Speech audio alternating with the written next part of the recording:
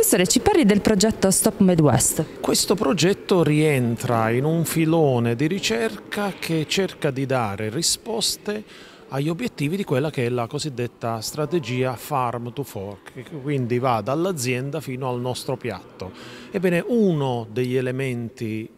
ripresi in questa strategia è il dimezzamento degli sprechi entro il 2030. Quanta roba noi abbiamo a casa e sprechiamo, compresi i prodotti ortofrutticoli, prodotti ortofrutticoli che vanno incontro ad una serie di malattie. Ebbene, queste malattie noi dobbiamo prevenirle proprio per evitare che questi frutti vadano a male e quindi vengano sprecati.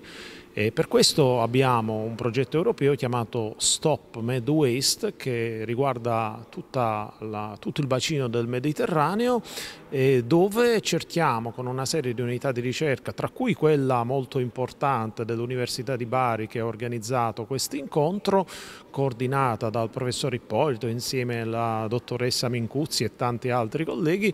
che mira a gestire al meglio le alterazioni del melograno, ma tante altre attività si stanno svolgendo su Vada Tavola, su agrumi, su drupace e proprio la prossima settimana ci sarà un incontro del progetto Ammac Fruit e quindi se volete diciamo, seguire le attività di questo progetto basta googlare Stop Med Waste e seguirci sui canali social.